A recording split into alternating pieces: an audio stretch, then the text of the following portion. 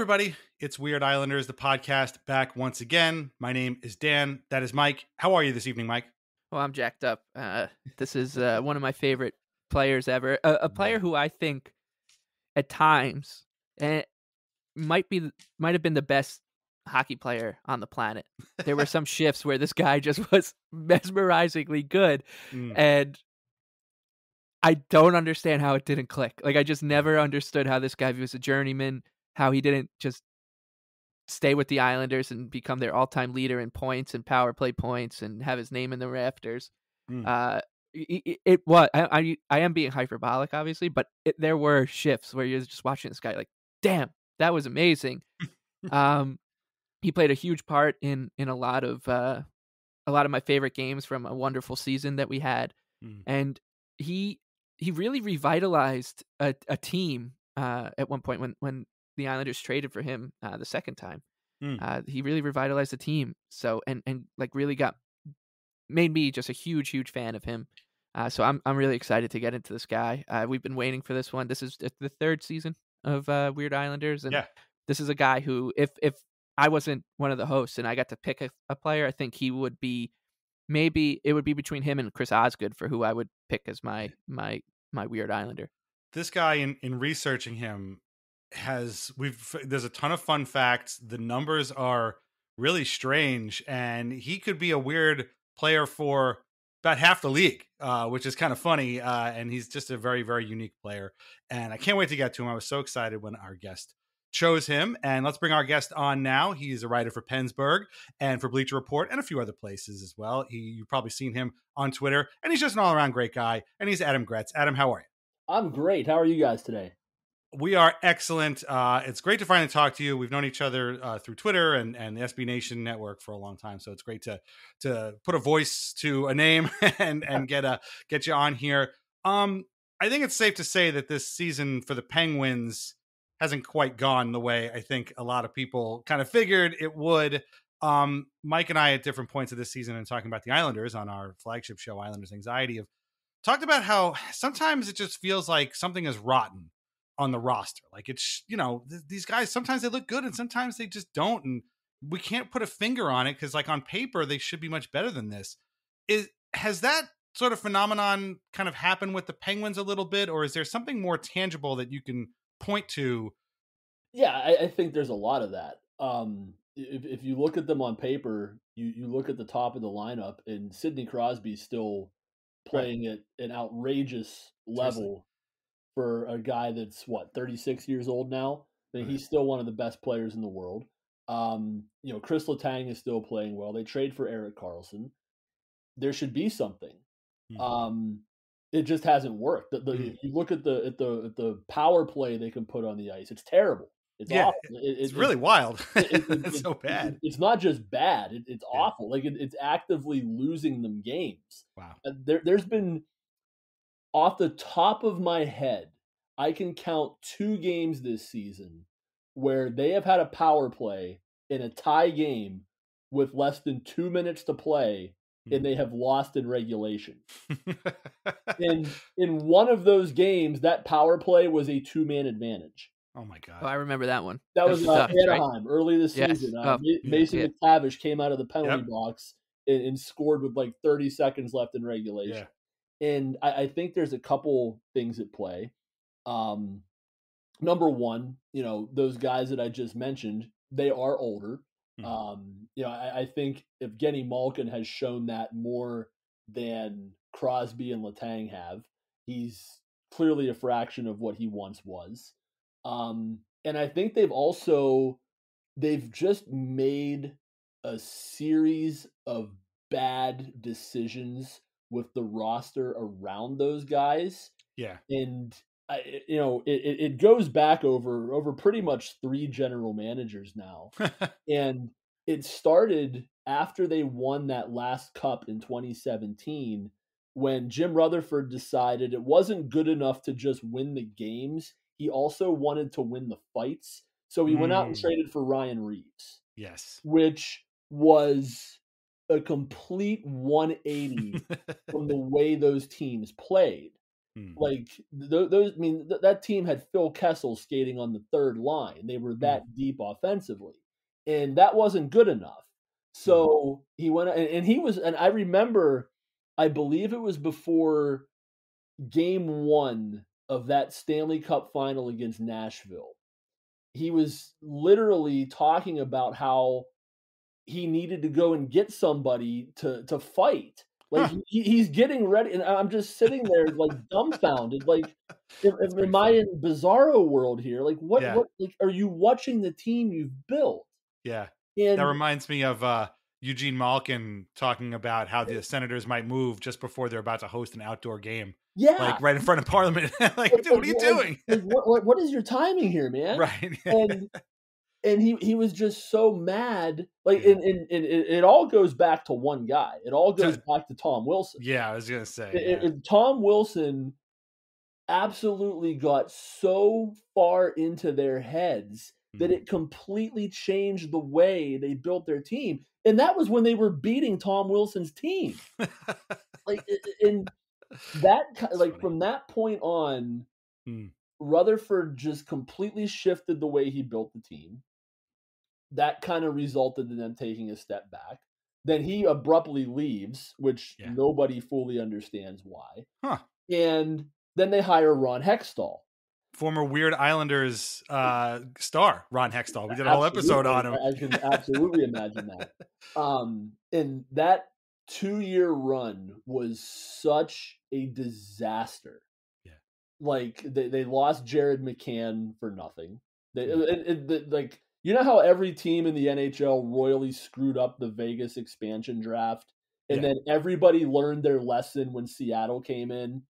Everybody except Ron Hextall learned his lesson because he lost Jared McCann and Brandon Tanev so Oh, he right. could protect Jeff Carter in, in Mhm. that expansion draft, which was just a terrible decision. Um, every like pretty much everything Hextall did was a disaster. Hmm. So he gets fired. They bring in Kyle Dubas, and this is kind of where things there there seems to be two different factions of of, of, opinions in Pittsburgh right now. Hmm. Where there's one group of people that thinks Kyle Dubas was brought in to eventually start the rebuild and be the person that that that guides that.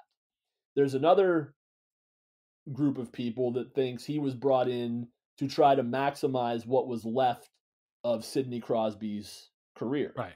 Yeah. And when you look at the roster moves they made this offseason, it's clear which one he was trying to do this yeah, Like, seriously. Almost every player he acquired was somebody over the age of 30 that has a multi-year contract. Yeah. Reilly Smith had two years left when they traded for him. Erik Karlsson has four hmm. years left. He signed Noel Acciari for three years. He signed Lars Eller for two years. Mm. He signed Ryan Graves for six years. Mm. That's those aren't the types of moves you make if you're brought in to usher in a rebuild. Yeah, seriously. And other like Karlsson hasn't been bad, but he hasn't been what they expected. He Mm. he's been good when they expected Norris Trophy and hundred points. Now that might have been an unrealistic expectation, but I, I think the expectation was he would come in, he would be a difference maker, he would fix the power play that wasn't very good a year ago, and it just Mhm. hasn't happened. But he, he Yeah. like he, he- I, I wouldn't say he's been a problem. He just Right. hasn't been what they hoped. Yeah. So yeah, something something on the roster is weird. Yeah. I, I And totally then, hear and then the other guys they brought in, like he had to overhaul the bottom six, and he he tried to build this group of players down there that could defend, but nobody can score. So now they're they're pretty much they're pretty much a one line team. Yeah. and you you can't win in the NHL with one line, and and I think that's where it's really gone wrong. And I also think Mike Sullivan, for as great as he's been with the Penguins, I think sometimes a coach and a team just reach their breaking point where it's time to move on, and it does doesn't necessarily mean that he's a bad coach. Eh, Sometimes you just you just reach a point where the message doesn't get through anymore. I think they're there. He hasn't adapted much to the, the, the team getting older. I don't think anybody expected them to win a Stanley Cup this season here. Yeah, uh, we are recording this a couple of days before the trade deadline, and uh, I listen. There are going to be 31 teams dying for the Penguins to fire Mike Sullivan at the end of the season. So I don't think anybody thinks he's he's uh, suddenly forgotten how to coach. But uh, hey, listen, you know, two Stanley Cups, and and he's been there. It's a 10 years or close to 10 years. That's a long time for Uh, a coach. 2015 16, that, that 2015 so- 16 season, he came in halfway through. Right. Uh, he replaced Mike Johnston. That's right. That's right. So you know, you're looking at eight years. That's a long time, and I mean, you can't can't argue with the success. So uh, yeah, no, it, it's it's funny. Like I remember when people complaining all the time about Barry Trotz when he coached the Islanders, and then once the Islanders let him go, I saw tweets from everywhere being like, "Oh my god, my team's got to hire this guy." Well, it was like, wait, hold on a second. Like, hold on a second. Is he is he the scourge of the NHL, or is he the guy who's going to save your franchise? It's, it's one or the other. So, uh, well, yeah, I mean, it's been fascinating to watch, and uh, I'm sure it hasn't been a lot of fun if you're a Penguins fan and a Penguins writer such as yourself, but. Uh, you know the good news is that uh, everybody at, at the athletic is watching so uh, that's the uh, that's the most important thing because uh, their favorite son is uh, is running the team but we are here to talk about a very different era in penguins hockey uh, and that might be good or it might be bad. I don't know. We'll ask you. Uh, and we have a very fascinating penguin here and former two-time islander and a whole lot of other things. So let us get to him today. Let us talk about our featured guest Adam Gretz, will you please reveal the subject of tonight's episode of Weird Islanders, the podcast? Tonight's Weird Islander is none other than Randy Robitaille. I can already hear Mike getting ready. He's, he's All getting right. amped up. Before, hold on, I'm going to throw it to you in a second. Before we do, do reminder that we are on Patreon, patreon.com slash Islanders Anxiety. Ad free episodes, bonus content, a whole lot more. Sign up today. Mike, when you hear the words Randy Robitaille, wh- what is the first thing that you think of? The Islanders goal horn at the Nassau Coliseum after uh, during a power play. Uh, and I'm not even Classic kidding. bullhorn, by the way. Mhm. Yeah, oh, the best goal horn. Yes. and uh there just there was just magic in this guy's hands when he was with the Islanders somehow. and there's one game in particular that that sticks out, and it's a game I talk about all the time, and you know it's perfect because it actually um, was against the Penguins Hmm. in uh, that's 2006 seven series uh, season when the Islanders made that miracle run into the playoffs with Dubielewicz. Um, and there was a turning point game in that season when the Penguins were riding a, a 16 game point streak, and the Islanders uh, played them. The Islanders were in desperate need of a win. They had traded for Marc Andre Bergeron a few days before, um, so they were kind of dipping their toes into being a buyer. But they were in they were in pretty poor form, and they were looking to rescue the season. And they were playing really well against the Penguins in this game. Uh, Ryan Malone, as he always did, Oh had a hat gosh. trick against the Col- the Islanders in this game. Absolute Islanders killer. I could never Yeah. figure it out. Oh, Crazy. God. And this game was just it, it was incredible. So Malone's opened the scoring like a minute in. Um, Victor Kozlov got uh got the Islanders tied one one uh about you know 15 minutes later and Bergeron was had an assist on the play. I was at this game. The Coliseum is rocking because Bergeron I think it was his debut Mm. and Mark Recchi scored right before the uh the intermission. Then Malone scored a minute in this was the his hat trick game where he scored all three goals in the first minute of each period. Oh my god. Um, so he scored on uh in the first minute of the second. All of a sudden, it looks like the Islanders are about to be dead in the water, and then the Randy Robitaille show starts. A nice referee, Don Koharski, made the call. Here's Robitaille centering, and Simon scores.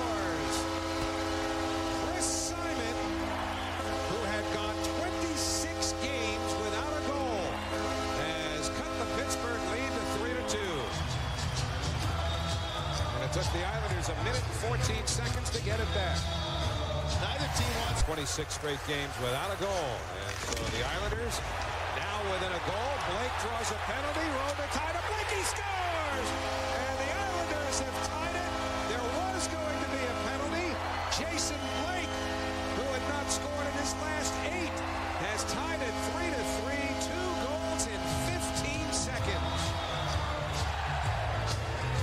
Robitaille up to the Pittsburgh line, across to Simon, he scores! Chris Simon had not scored in 26 games. He has two in this one. It took a minute 11 for the Islanders to get it back, and we're even 5 to 5. And so many many times in this game it looked like the Penguins were on the verge of grabbing control of it. Robitaille, the third star of this game. Great dishes in the second period. Great pass. From the Islanders, number 18, Mike Sillinger. Sillinger with a game-winning goal. How about Chris Simon with two? And the first star from the He's number one. number 12, Chris Simon. Well, the Chief came to play today. and he sets up Chris Simon for the first time in the night. Then he sets up Jason Blake. The Islanders then go up 4 3. Then it's 4 4. Malone scores again for the hat trick. And then Randy Robitaille gets right back to work a minute later and, and sets up Chris Simon. And the game ended, ends up culminating with a, a Mike Sillinger goal um, with about 30 seconds left in regulation after in a, a shift where Crosby had the puck for like two minutes on his on his stick below the Islanders goal line. And I, I- there was one point where Rick DiPietro was like trying to poke check him away, like he basically skated out of the crease. But I what I remember about this game was that, and I'm not kidding you, like when when I when I made that statement off the jump, Mm. Randy Robitaille was the best hockey player on the planet that night. Like there was nobody, there was nobody that could stop that guy. He had three assists on the night. Uh, The he he was running uh the kind of the the trigger man or or I should say like the the kind of uh the string puller on a on a power play where the three forwards were him, Victor Kozlov, and Aaron Asham. Jeez. And Aaron Asham on the power play? yeah, and Oh and there's a great you know our, our guy uh, our guy Sab on on uh, Yeah.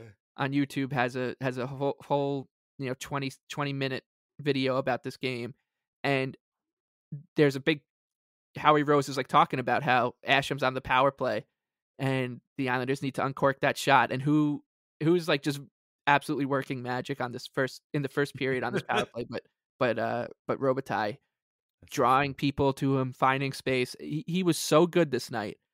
And I just remember thinking like the Islanders they they have something here.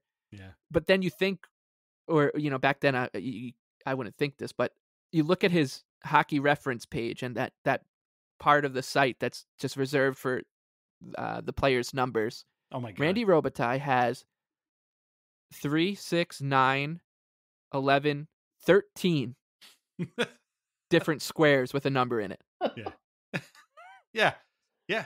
That's that guy. That guy's the best player in the world. He, like, he could on. he could be a weird million different things. He could be a weird Bruin, a weird Penguin. He could be a weird King. He could be a weird Wild. He could be a weird Fly. The only team he couldn't be weird for was the Nashville Predators because he showed up in their second year. So the not the inaugural Predators, but I guess the second inaugural Predators, whatever you call it, uh, and played 131 games there. But yeah, he, he this guy has bounced around a lot, and I got to be honest, I am shocked that somebody other than like a, a Predators fan or another Islanders fan would have picked Randy Robitaille. So Adam, like I gave you a, a smaller list of you know kind of Islanders, Penguins. There were some some really wild names on there. I'm hoping to get on this show at some point. But like, what made Randy Robitaille jump out on that list of of Islanders and Penguins? Because again, I'm I'm shocked that anybody even remembers this guy outside of us, basically. So there's actually a couple of things and, in, in the way the way Mike was talking about watching Randy Robitaille. That's kind of the way that that I remember his time in Pittsburgh That's funny. because this was his time in Pittsburgh. This was in that that weird time between Jaromir Jagr after like after Jagr was traded and before Sidney Crosby. Yeah, there I'm glad you're talking about this because I do want to talk to you about this. But yeah, continue. the, there was there was that three year stretch where they just tanked. They absolutely bottomed out, and in a couple of those seasons, they were just claiming anybody they could get on waivers. they were trading for any bottom of the lineup player that they could get to just fill out a lineup and try to have like a somewhat competitive NHL team. Hmm. And Randy Robitaille was one of those guys. And when he first got to Pittsburgh, he was surprisingly productive. Right. And there, there were, I, remember like, and, and I was in, I, I think I was, I think I was a senior in high school at this time. It was somewhere around Hmm. like senior year of high school, first year of college, and the Penguins were so bad at this time, and interest in them had, had really dwindled. And to get people into the building, they introduced this program called the Student Rush Program, where you would an hour before the game, hour before puck drop, if you showed up at the ticket window with a valid student ID or report card or Yeah. anything that showed you were a high school or college student, you would get the best available seat Wow. for twenty dollars. Gee. And we made a habit out of going to those Sure. games. We, we were sitting like three rows from the glass, watching just terrible hockey, but loving Yeah. every minute of it. That's so And funny. Randy Robitaille was one of those like somebody on like on, on bad teams, somebody's going to get the goals. There's Right. going to be somebody that's going to get power play time. They're going to get top line time, and they're going to come out of nowhere and have a surprisingly good year. And I Mm. think Randy Robitaille just happened to be one of those guys for those Penguins teams, and he played really well. And I remember going up to that that trade deadline, there was talk that oh they might they might be looking to trade Randy Robitaille. And I remember me and my group of friends just like being angry at that thought, like no, you can't trade him. like he's the only guy scoring right now. What are you doing? So it, it was just it was just hilarious listening to Mike go into that story because I'm I'm sitting there thinking that's how I felt about Randy. Yeah. You know what's funny is uh, the Islanders had a similar program. I I think it was Yes. I can't remember what it was called, but the year that I used it and uh, and you know and abused it was the Randy Robitaille years. Like Wow. I so Randy Robitaille was just people were Right. he was the student ID I special. was gonna man. say He- Mr. Student Discount. Yeah. yeah, like Mr. Student Discount. that program was so popular with the Penguins, like people would start showing up at like 8 a.m. to line up to get like the best available seats. Wow. And after they got good again, like Mhm. after Crosby came, obviously that changed everything. People actually wanted to go now. They would like for the first maybe like five to six years of Crosby's career, they would hold like 600 tickets a night Hmm. to open up to the student rush. Hmm. And like people again would show up at like ridiculous hours, and players would like bring out pizza to them, and it, like it was like a college like tailgating atmosphere right. That's but it, it was a great program because it got a lot of people hooked on hockey, Mm. and um, we got to watch Randy Robitaille. Yeah, yeah. We had um, we had the Islanders had a student discount thing too, and and my friend Gio and I, I'm a little bit older than than you and Mike here, but uh, we used to go to games all the time. But there was not a best available seat. I don't know why that. You know, now that I'm thinking about it, I don't know why the Islanders didn't do that because we used to. They used to give us terrible seats. They were like right up against the the last row of the Coliseum when nobody was there. And so by the end of the first period, you get an usher who would see you up there and he'd kind of like wave you down, like, come on, come on, come on. And then you'd go down to the 200s. There's a much nicer seat, you know, but nothing as good as as behind the glass. But hey, listen, you know, sometimes, you know, you gotta get you gotta do what it takes to get people in the building. But before we move on to more Robitaille, I do want to stay on this because again, this is an era I don't know if a lot of you know younger people uh, know about this. So this, like you said, this was the transitional period between Jagr and Crosby. Um, this was when Mario Lemieux had come back to play, but he was also the owner, which is kind of a weird thing. I remember this is when I was working at the Associated Press, and it was always like player owner Mario Lemieux, and it was me, a friend, and I who were both hockey fans. Just like it's so weird. It's so weird that the owner is playing on, but they had to like they needed somebody to play. He was probably their their second best player, really. Um, uh, behind uh, Alexei Kovalev was al- also on these teams. Um, and it's just kind of like uh, I get you know Mike and I talk about these things all the time because we I mean this is what this whole show is about is kind of carrying this this baggage around from these weird transitional eras. We have the mercenary era before the the Tavares rebuild. We have the truly truly dark awful times between the Ziggy Palffy trade and when Charles Wang bought the team and, and brought in like Michael Peca and, and Alexei Yashin. What is like sort of a normal Penguins fans relationship to this particular era, which again, you know, fits right in between these two super, super, super Hall of Fame superstars. Uh, but it's just sort of like, do they look about it fondly? They try and forget about it. Do they? Does the team kind of like try and just ignore it, just pretend it doesn't happen? Like, what what's sort of the relationship like there now after obviously so much success with the Crosby era? Well, the team itself totally ignores it. Like, like there's no, there's almost no reference to it. Mhm. And um, like you mentioned, Alexei Kovalev, like he was a Yeah. great player for the Yeah. Penguins, and like he- very little memory of him associated with the team. Like there's there's a mural outside of their locker room that has him. He's he has like he has like a random picture like in the corner of it, but like they, they don't really reference that time much. I think fans, especially fans of like my age Hmm. from that era, they mostly look back at it with fondness Hmm. because of what it helped produce yeah. Well, like those, yeah. those- like everybody knew at the time when they start when they when they traded Kovalev, when they traded Jagr, when when the and uh, you know Marty Straka got traded. Um, I think that's another weird Islander. I was gonna say he's gonna get his own episode Yeah. of this. I Um, promise. Dick Tarnstrom. but Dick oh, Tarnstrom, Dick definitely. Tarnstrom, oh my gosh, um, he led the team in scoring one, one of these. years. yes. Like Yes. he, was uh, like literally they, they claimed him on waivers before the start of the season, and he led the team in scoring that year. Um, like that's how bad they were. Yeah. Um, but I think fans knew that okay, like we're going through a really bad period here. I don't think anybody in their wildest dreams at the time envisioned that they would get two more superstars, like mega stars, like back to back. I don't think anybody anticipated that, but I think people knew that there was at least something of a plan. Um, I also think there's there's a there's a sense of fondness to it because people were just trying to grasp onto the franchise because the long term stability of the team Yes. was not a given. Absolutely. Like yeah. there was there was very even after Crosby arrived, there was still a chance that if they didn't get an arena, they were going to be in Kansas City Yeah. or Yeah. some other city. So like I think people just tried to embrace the team while it was there.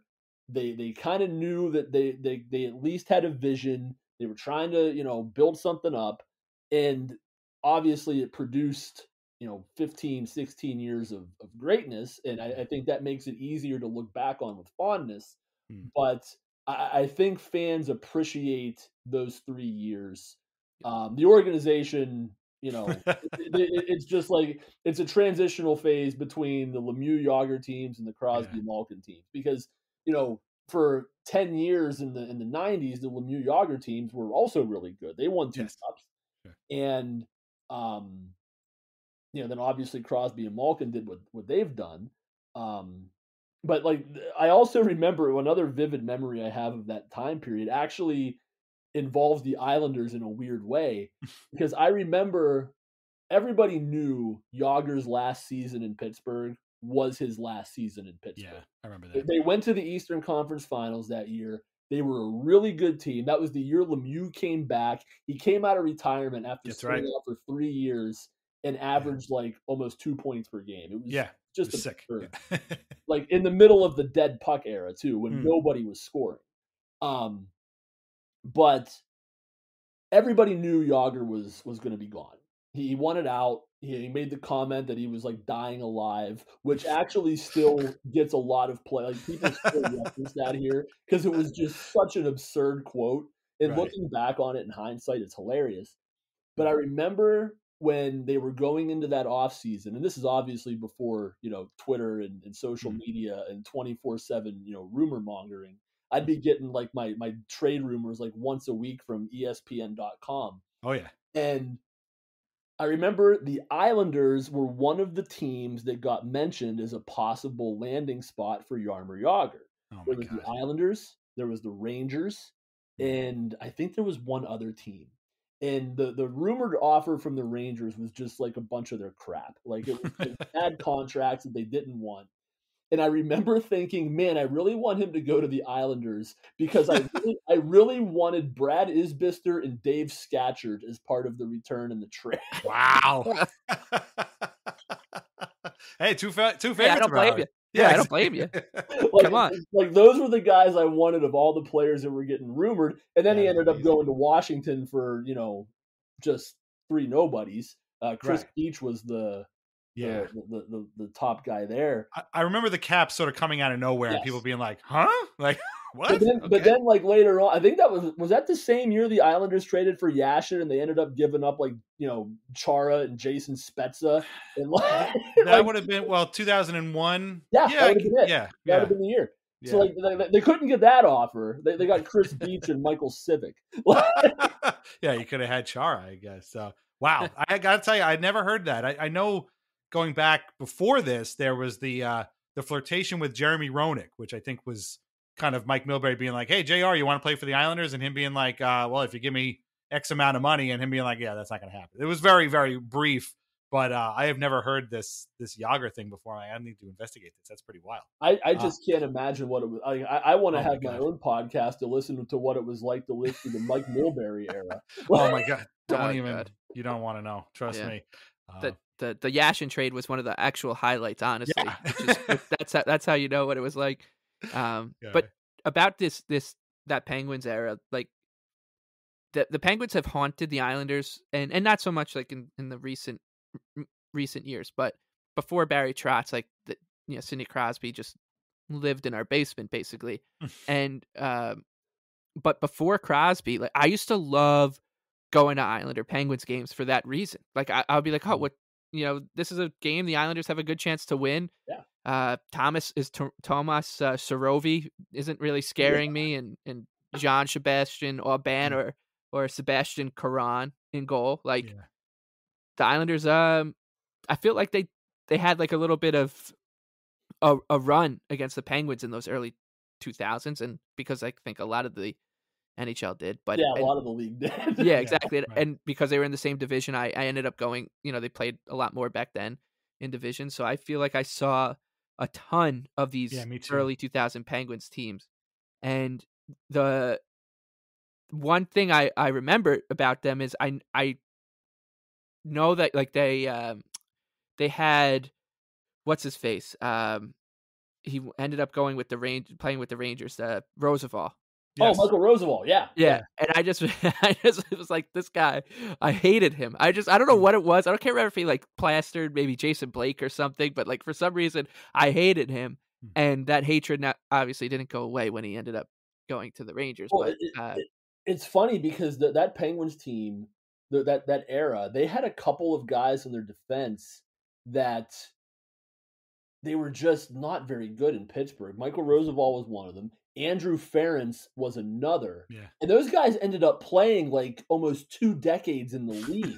like it, it, was crazy because I like they were like the, they were like the number one and two defensemen on the worst team in hockey, mm. and they ended up like winning Stanley Cups and, and having like these these yeah extensive careers. I think hmm. I think I want to say they both played a thousand games in the league. Uh, I'll give you one. Ian Moran, almost 500 games. He seemed like he never wanted to leave. He was just always around. But uh, yeah, no, th- this was uh, Josef Melichar. I remember from that era. To me, that Penguins era, I always remember uh, Darius Kasparaitis, like having getting traded there and being like, man, what is he doing on this team? It's so weird. But uh, yeah, this was a very a very strange time. Like you said, they're just picking up people left and right, trying to keep the team in Pittsburgh all this time, trying to get a new arena. And let me tell you, we we know all about that that kind of thing. Um, and so into this will come Randy Robitaille, but let's back it up a little bit and talk about how we got here. So he's from Ottawa originally. Uh, went to Miami of Ohio, played there, went undrafted. He's one of the very few weird Islanders we've talked about here who wasn't drafted. Was originally signed by the Boston Bruins, and he gets his first shot at the NHL in March of 1997. And on his first shift, in his first game, he gets hit into the boards and he separates his shoulder and he is out for the remainder of the season. Oh, and doing the hitting was Ken Belanger, who was playing for the New York Islanders at the time. So this guy has always been tied to the Islanders. Tim Sweeney, number 42 for Boston. McLaren, John Rohloff are the defense pair. Lapointe for the Islanders works it free. Shoved behind the net by Robitaille, who shoved hard to the boards by Belanger of the Islanders. Tim Sweeney lost it to Lachance. There was the hard hit. That one at the expense of Robitaille as he gets a taste. Randy Robitaille there. Woo. Welcome to the NHL, young fella. It's so incredible to I'm watching this video and I'm like, wait a minute, this is I think I just read about this. This is his first game. So that's it. His season is done. His that would would have been his, you know, I guess he was trying to burn off the ELC or whatever. And that's it. He's done. One 47 seconds into his first shift, it's over. But he spends another couple of seasons with the Bruins. I guess plays in Providence for a little while. and then it is on to the Nashville Predators. Uh, he gets actually, excuse me, he gets traded by the Bruins to the Atlanta Thrashers. Then for Peter Ferraro, Long Island native, and uh, his brother played for the Islanders, of course, Chris. And then the Thrashers trade Robitaille to the Nashville Predators for tough guy Denny Lambert. And it's in Nashville, again, in the early years, that uh, he really makes uh, his entrance into the NHL. He ends up spending uh, 131 games with the Predators, 20 goals, 51 points. He would play for Atlanta, but it would happen a lot later. He ends up signing with the Kings in July of 2001, and the Kings are who put him on waivers, and that's how he ends up in Pittsburgh. So after you know we know how, how, important Robitaille was to the Penguins at some point and to young Penguins fans such as yourself. But like when they do, you, do you have any memory of them picking him up on waivers? Did you think at the time, wow, this is a good pickup, or again was this sort of like a who the hell is this type of scenario here? It was a who the hell is this type of yeah. scenario because they had so many guys like mm-hmm. that come through the team those years that right. it was just like, well, he'll be here for a couple weeks and, and that'll right. be it and and then he had 30 points in 40 games. and, and then you're mad that like why are you going to trade him? right. It, it's actually funny. We'll get to it in a second, but again, his numbers are really weird. Like he would end up playing 81 games for the Penguins, and he had 47 points. Yeah, like that's over half a point a game. Like that's that's good. What is in, he doing? Especially in that era, right? Like, like right, that, was, yeah. that was when like that was the height of the neutral zone trap Right. And when it was like every game was played in mud. Like it, was it, putting up those numbers was was no small accomplishment. Right. It's just funny that like, and this would continue for his career. He basically was a, a half a point a game player for an entire career, spending like ten different teams over eleven years. It's crazy. Hey, it's Kaley Cuoco for Priceline. Ready to go to your happy place for a happy price? Well, why didn't you say so? Just download the Priceline app right now and save up to 60% on hotels. So, whether it's Cousin Kevin's Kazoo concert in Kansas City, go Kevin, or Becky's Bachelorette Bash in Bermuda, you never have to miss a trip ever again. So, download the Priceline app today. Your savings are waiting. Go to your happy place for a happy price.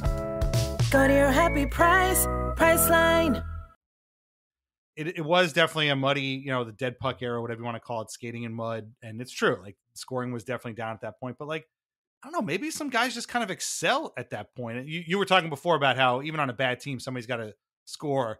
That to us is Mariusz Czerkawski, who was a superstar for the Islanders uh, in the two worst seasons they had as a franchise. And I guess Robitaille is kind of one of those guys. Like, I mean, Mike, you you obviously are a huge. We'll get to the Islanders Robitaille in a minute, but like you're you're a guy who's observed this this player a lot. I mean, is, do you remember something about his game that sort of translated into this style of play where he, you know, speed and skill and deep deeks and dipsy doodles weren't part of the order of the day. Like this guy was maybe he's just a meat and potatoes type of guy, and it just worked for him in this era. You think? I think you know what he was really good at was uh, well he's a, he's a really slick passer, like mm-hmm. incredibly mm-hmm. slick passer.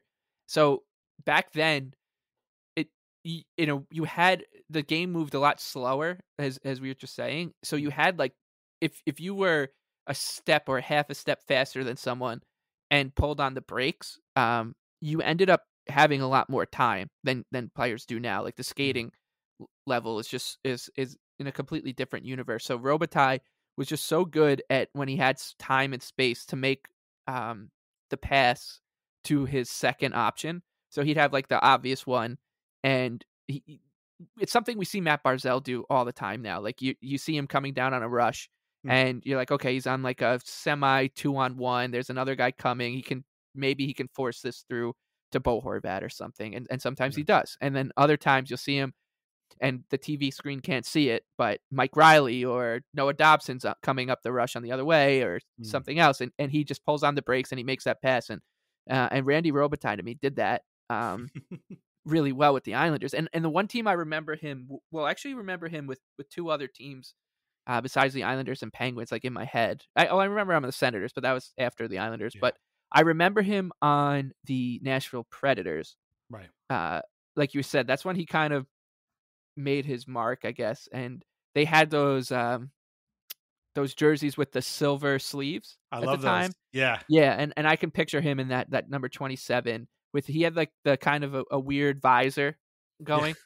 um and so I remember I can remember him in in those jerseys. Uh I don't remember anything, you know, I, I- God, I, I how would you be able to watch a Nashville Predators game from Long Island back then? I have no idea, Right, but I do exactly. remember him uh a little bit just and I remember him with the Thrashers too. Um Yeah.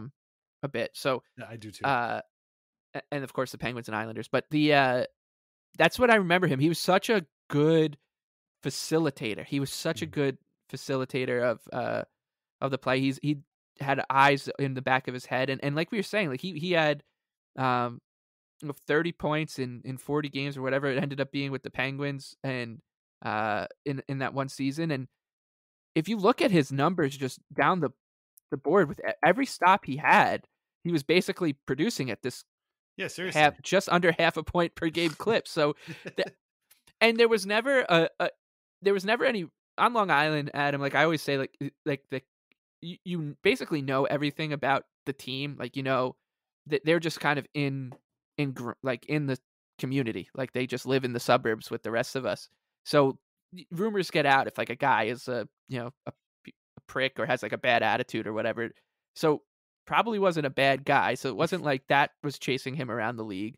Um, at least we don't think so. So there were I have no idea. It, it it reminds me a little bit, and I can't I hate myself for saying it because uh, we hear his name all the time on on uh, Thirty Two Thoughts and the Jeff Marek show. But it reminds me a little bit of like Daniel Sprong, like a guy who just goes, does the tour, produces everywhere, then signs another deal. Um, but yeah, he was he was just silky, man. He had great skates. He had the silver skates Mm. as well. Like he had really cool silver skates and um, just a a player that I like. I think if he was in this era that we're in now, he's playing you know a, a thousand NHL games. And, and I mean, he he ended up. Which the crazy part here is a lot of times when we talk about these journeymen, that they end up with in their career with like 160 games played, and Right. and one stop they have like 60, and that's Yeah. the the team that they played with the most. And Hmm. Robitaille played 531 NHL games. So it wasn't like he did it. He was just like a your, you know, kind of run of the mill three or four year journeyman who who kind of just Jason Krogged his way around the NHL. Right. Like this guy played 531 games, it's crazy. and in his last year too, he wasn't bad. He had 29 points in 68 games. So Right. I, this we got to find out. And he's come to alumni night a couple times on, on with the Mm. Islanders. We got I just Right. got we got to ask him. Be like, do you think that you you deserve better? Like what the hell? we'll talk about what he's doing now uh, at the end here. But uh, but yeah, I mean, he was a productive player. Uh, I mean, Adam, do you remember any particular like uh, line mates he was with, or any kind of you know particular spots he was in, or the power play or something like that? I mean, he, he had a couple of power play goals I see for the Penguins here. Uh, but uh, I mean, what else can you recall You- about that you know, time? it's funny. I was literally just sitting here trying to think of who he played Right. alongside with. I'm guessing at the time, given the state of the roster at that point, he was, and given how productive he was, he Hmm. was probably getting significant time with Kovalev. Yeah. eh, Like on the, because, I mean, he, he was one of the only guys producing. Mm. and I, but I can't I can't picture who he played with, but I I can picture the skates and Mm. I can picture the playmaking. Like he Right. was a very good. He, he like he saw the ice well. He had good vision. He could make plays. Um, but I, I can't. I wish I could think of who he played alongside. Yeah. it's totally escaping me. I mean, teams like that, you kind of just are all over the place. Like I couldn't tell you who Czerkawski played with because he was kind of all over the place that time too. Uh, but that's pretty wild. Uh, but uh, yeah, so I mean, he, he's a productive guy, but obviously the Penguins at that time are you know a bit of a turnstile. They're they're kind of just trying to find anything to grab a hold of, like you said. And on March 9th of 2003, which is going to end up being a big day for the Islanders, uh, Robitaille is traded from the Penguins to the Islanders for a fifth round pick in 2003. So, what can you tell us about fifth round choice Evgeny Isakov? Absolutely nothing. there you go. Well, of course not, because he didn't play in the NHL. Uh, a couple of guys. So that was in the fifth round.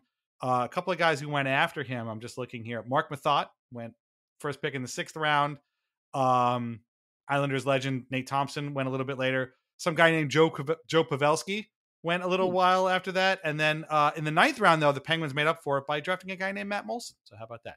So yeah, so fifth round pick, uh, not not too bad, I guess, for uh, a guy you picked up on waivers who's pretty right. good. Although again, you you think that those numbers would have gotten a little something more for for the Penguins, but uh, as an aside, this is also the same day that Mike Milbury, in acquiring, sending out a fifth round pick to acquire Randy Robitaille, traded Claude Lapointe to Philly for a, a uh, different fifth round pick. And uh, as we told our friend Bill Matz when we did our uh, episode on Ron Hextall, he's like, you know, we should we should do a Weird Flyers podcast. And I was like, you can go ahead and do that, but we need to be on for the Claude Lapointe episode because uh, he's a he's a favorite of ours. Uh, but that was I remember that was a that was a tough one when they traded Claude. That was yeah. so he was he was the prototypical. This guy's way too good to be on this team. Uh, and on, on a on a good team, this guy is the perfect depth piece. But on the Islanders, he is the imperfect first or second line center. Like he really shouldn't be playing that position. But uh, but yeah, this is where Randy Robitaille's first stint with the Islanders begins, and it's a short one. It's only ten games. Uh, he has one goal, two assists. Uh, this team did go to the playoffs. They lost to the Ottawa Senators. Uh, and uh, I don't know if this is really where he made a connection yet. I mean, Mike, you were still young at this time, but we've talked about this era being very, very formative for you. Do you remember specifically this this period of Robitaille, like the sort of Robitaille 1.0 period?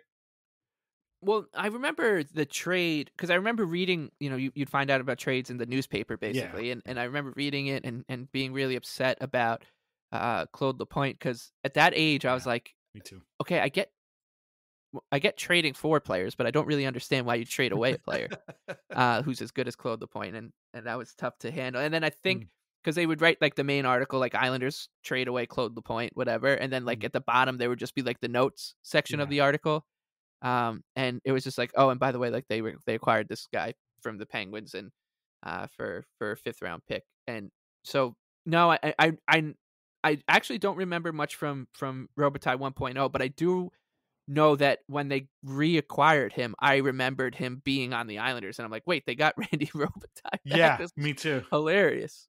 Yeah, it was. Yeah, the second one I remember, and then I was. I remember thinking to myself during that second period, when did they get rid of him? I didn't even realize they had gotten rid of him. But uh, but so it was a short stint. Uh, in August of 2003, uh, he signed with the Atlanta Thrashers, and actually spent uh, a whole season down there. He had 11 goals 37 points in 69 games for the Thrashers. This was not their one playoff year, in case you're wondering.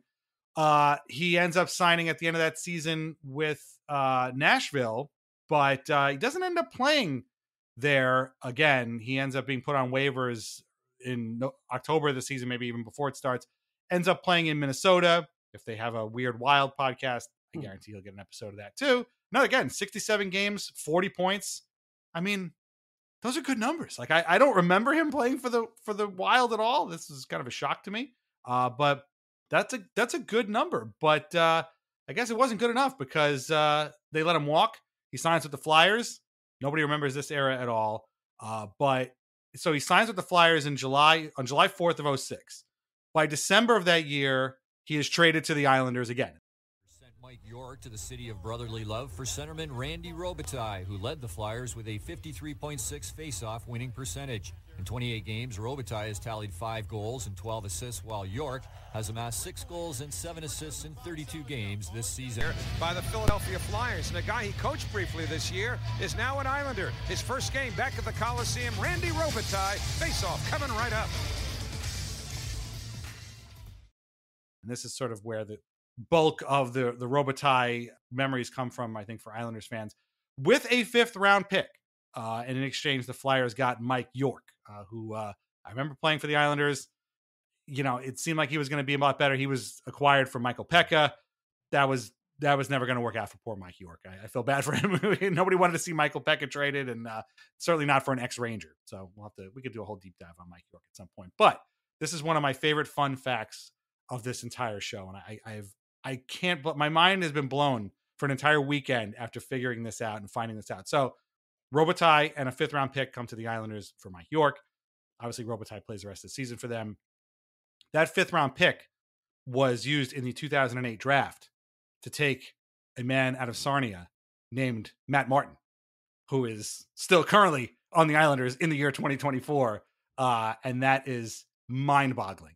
That is absolutely mind boggling. Uh, Adam, we did an episode on Peter Regin, who signed with the Islanders uh, to play with his buddy Frans Nielsen. Didn't work out. They traded him to Chicago. The Islanders sent that pick to Washington to you know for the rights to Yaroslav Halak. The Caps traded that pick to the Rangers, and the Rangers used it to take a guy named Igor Shesterkin. Wow. So somehow Peter Regin turned into Igor Shesterkin. This isn't quite as mind blowing as that, but seeing Matt Martin here uh, is is pretty wild. But uh, yeah, this is this is sort of the now as a as a Robitaille fan yourself, like did you ever did you wake up at some point during this era and be like, holy crap, why is Randy Robitaille on the Islanders again? like this is kind of a weird. This is like true journeyman shit. Like he'd by now he'd played for eight different teams. But like, do you have any recollection of him playing for the Islanders and maybe torturing the Penguins at some point? Um, I, I have a very vague memory of Hmm. the Ryan Malone hat trick game. Wow. Yeah, like because I, I remember him getting the hat trick, and I I remember. I don't know that I remember that it was Randy Robitaille scoring, Hmm. like like taking over the game. I, I don't remember that part, but I do have a vivid memory of that particular game. But Yeah. the Randy Robitaille part escaped me. That's so The- funny. the Penguins were white hot at that time Yeah. too. That's why it was such like a big game and a crossroads at that season. Um, and the the the weirdness of this trade is is doesn't end with the Matt Martin thing. The Islanders made two trades with the Flyers within a week that year. Mm-hmm. So they traded York for Robitaille, and then like three days later or three days before that, they traded Zhitnik for Freddy Meyer. That's right. It did right. two separate trades with the Flyers. So on Hmm. December 16th, they traded uh, and then on December 20th of that same year, they traded That's so funny. Mike York to the Flyers uh, for Robitaille. So just Yeah. really weird. Um, and it, it, sorry, uh, it it should be noted though that so now Robitaille again. This is his second time with the Islanders. He was acquired by two separate Islanders general managers. One was Mike Milbury, and this time it was Garth Snow. right, So yeah, I think true. he's probably the first person to have ever had that kind of distinction. right and um this this the the names like the trade trees here are crazy because Mm. that uh Zhitnik ends up turning into Braydon Coburn uh who ends up finishing his career with the Islanders did he Yeah. retire right after Yes. his his his one game stint with the Islanders and so, uh yeah.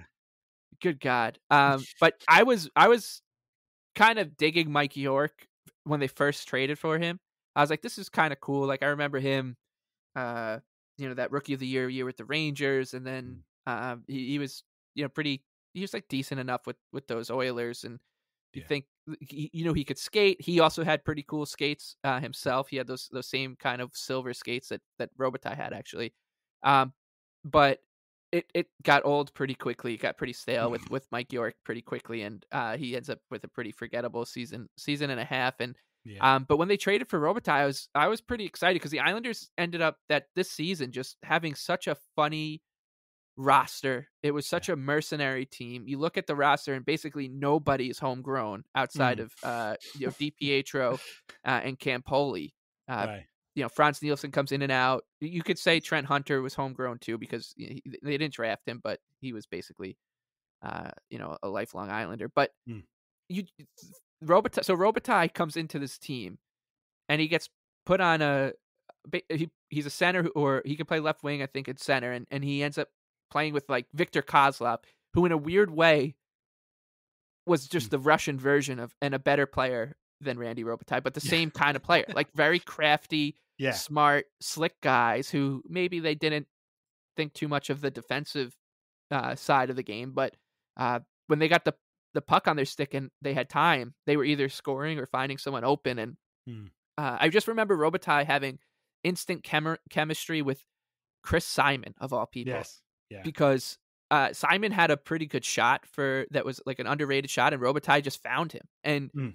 and Robitaille slotted in, and, and obviously wasn't going to come in and, and take over like the top line with the team with you know Yashin and Shatan and uh, Kozlov. Blake was that was the year Blake scored forty, so Yeah. and then you had the Sillinger Hunter Hilbert line is like a really good checking line.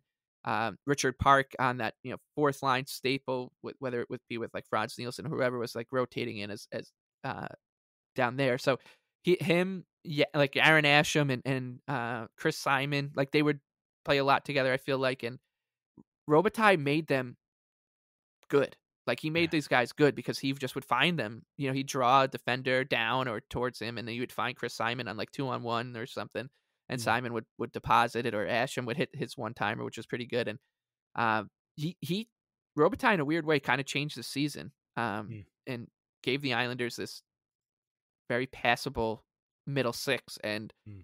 uh, of that group of that of that middle six, like he was so much fun to watch. I thought, and it was really, you know, they end up going to the playoffs in that wild run. He played a pretty big part in, in the entire season. This was um, the Ryan Smyth year. Yes. Uh, yeah, I mean, they, they, went all in and got. Who, who was the bigger trade at that season? I don't know. like it's it's hard to tell. Um, but they uh he he had a huge hand in this season. Yeah, and then he was gone.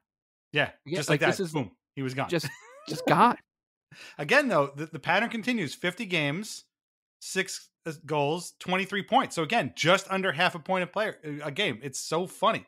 It's crazy. But yeah, he he shows up and uh yeah, who who is the real Captain Canada here? Is it Ryan Smyth or is it Randy Robitaille? I think might, might be Randy Robitaille. Um but yeah, so he he's gone just like that, just in a flash. He's left and you know, again, this was you know, the Islanders were were also trying to just piece people together and, and put a team together. And Smyth obviously left that summer. Uh, Blake left. I think that was they also bought out Yashin. So big big changes were coming, and then within a year of that, they you know they really bottomed out in 07, 08, and then got the Tavares pick in, in 09.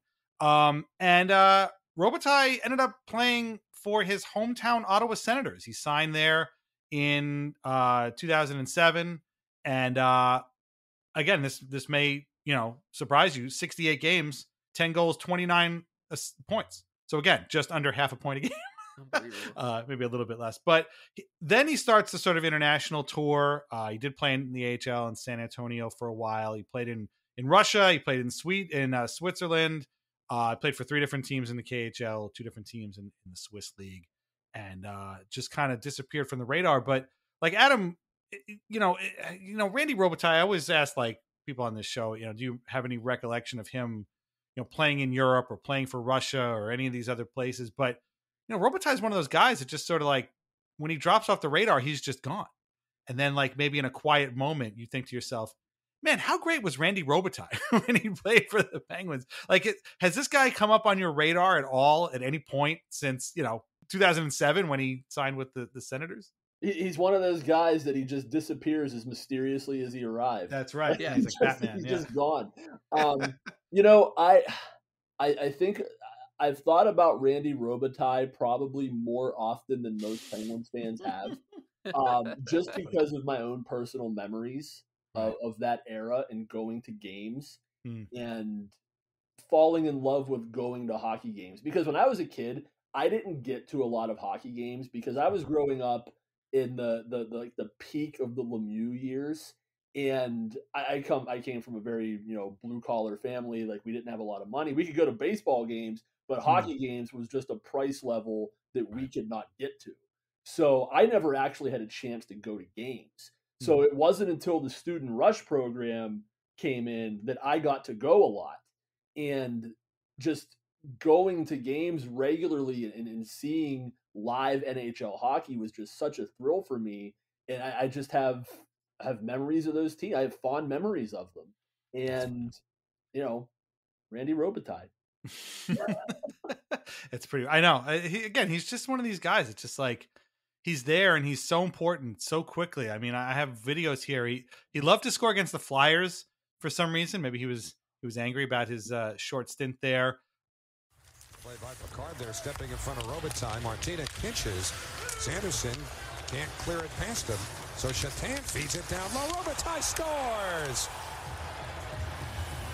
Well, it started with an effective pinch by Radek Martinek, and Randy Robitaille makes it one to nothing New York. And he can pinch there. He uh, scored in a, sh- a, shootout winner over the Leafs, which was like a really, really impressive goal. This was uh, pre Frans Nielsen. Back, you know, the, the, Islanders would go through a period when they won every shootout, thanks mainly to Frans Nielsen. But uh, before that, you needed a Randy Robitaille, apparently.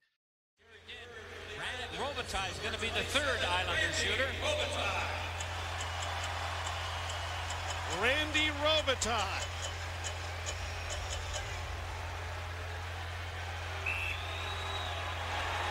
Here he goes. Taking it wide.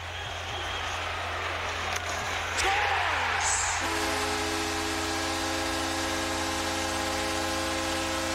Ponikarovsky has to score. Good play here by Robitaille. Takes the shot and then gets it up into the top of the net. Shooting third for Toronto, number 23, Alexei Ponikarovsky. Randy Robitaille with the go-ahead goal.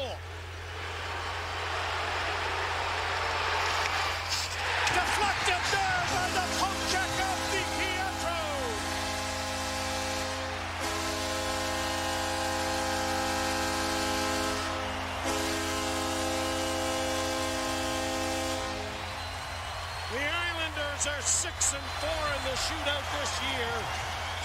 None bigger than right there. What a play by the goaltender Di Pietro to poke check the puck off the stick of Ponikarovsky.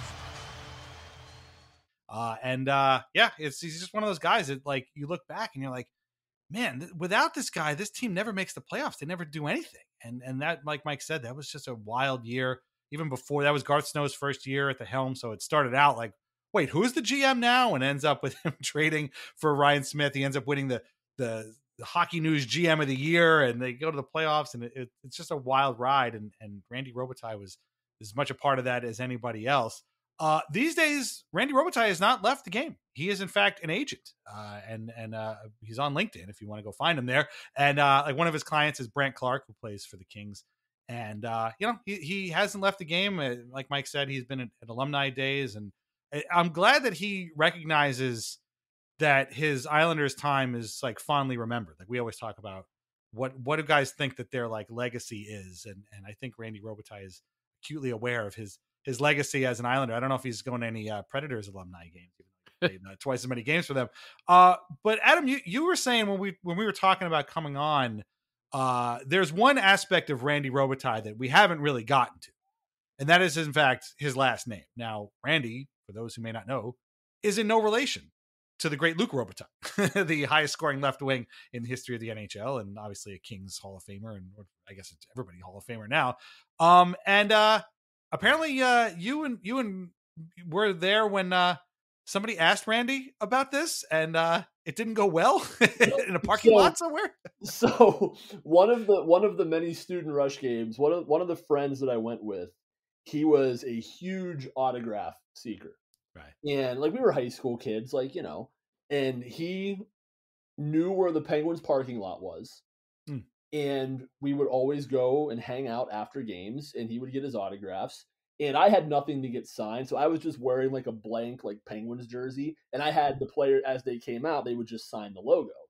And like I, so I, I have a jersey hanging in my basement that is autographed by about two thirds of one of the worst Penguins teams in franchise history. Um, and That's Randy amazing. Robitaille is included on Awesome. that jersey. Awesome. Um, I think I think Kovalev is the most prominent name on there, right. uh, but other than Randy Robitaille, of course. Um, but there was one particular night where we were all waiting there, and Randy Robitaille comes out, and he's being really friendly with everybody. He's just happy that like people are talking to him. He's Right. happy to sign everything. like he, he's just being really polite. He's he's engaging in comp. Like it's very it's a very genuine moment that he's having with people. That you know he's like, hey, thanks for coming out. Thanks for supporting mm. us. Sorry we couldn't win. Mm. Like you know, just really friendly. And I vividly remember, and this is one of my one of my top Randy Robitaille. The guy standing next to me as he's signing something asks him, "Are you related to Luc?" Mhm. I've never seen a person's entire mood and demeanor change more rapidly than in that moment. It must be a question he has been asked from Sure. the moment he started playing hockey. Absolutely. Like from the moment he started playing professional hockey, everybody probably assumed, whoa, he's got to be related to Luc Robitaille. and I cannot even imagine what it has to be like to work your way to the pinnacle of your your Right. your your your your profession, make it to the highest level, and the first thing people ask is, "Are you related to somebody else?" Yeah. Like, Somebody way better than you, by the way. right, exactly. I just vividly remember Robitaille immediately turning and staring daggers through the guy. Like if looks could kill, this guy would have been dead four times. Oh my god. And he just very sternly and like almost aggressively just goes, "No." and he went back to signing autographs. That's and like the guy that like the guy that asked, he was like absolutely horrified. Like, Sure, oh, yeah. like oh my god. And it's funny because Luc actually spent one season with the Penguins. Yeah. and and, and people, a lot of people forget that. Um, it was the uh, it was the 94-95 lockout season. Yeah. So there was only like 40 games that year, but he played one season with the Penguins. So Yeah. he like Luc was a very prominent, you know, like you know, a name in, in Penguins history. So I, I, I get why the guy asked, but like, yeah, that that might have been It's really funny. that, that's one of my top like probably my, that, that was that was the incident that made me want to pick Randy Robitaille just because I vividly remember that That's and just how just like you you you could just see in that moment how many times he's been asked it, how many times he's had to answer it, and mm. just I'm an NHL player too. I'm good. Right. Like I Yeah. belong here. Like I got here on my own, and I, I, I yeah, it was just a, it was it was a really in hindsight really funny thing to watch play out. That is But, really uh, funny. up until that point, Randy Robitaille was like one of the friendliest guys that came out. That's that's the trick. Don't don't ever ask him about Luc. Uh, I will never forget that Luc Robitaille played for the Penguins because I remember going to a theater in 1996, I want to say, and watching a little movie called Sudden Death. That's right. The great uh, Jean Claude Van Damme, and they're the Penguin in the game in the movie. The Penguins are in the Stanley Cup final, and Luc Robitaille is on the team. And at that point, he had already been traded to the Rangers. And so my friends and I all went, "When did they make this movie?" like Luc Robitaille's been a Ranger for like half a season. Wow. Okay, so one of the funniest things about that is Luc Robitaille was, I believe, the only actual. Well, there were there were two actual NHL players in that movie. Mm. Luc Robitaille was one of them, right. and he like used his real name. Hmm. The other one was former longtime Pittsburgh Penguin Jay Caufield. Right. Jay Caufield played the Penguins goalie by the name of Brad Tolliver. Now, the reason that the Penguins goalie's name was Brad Tolliver was because the Penguins goalie at the time, Tom Barrasso, was the only player on the Penguins or the Chicago Blackhawks that would not let the movie use his name. Oh wow. And I like to imagine that that is why they made the Penguins goalie just the biggest asshole on that team. and all they did was they flipped the initials from TB to BT. Right.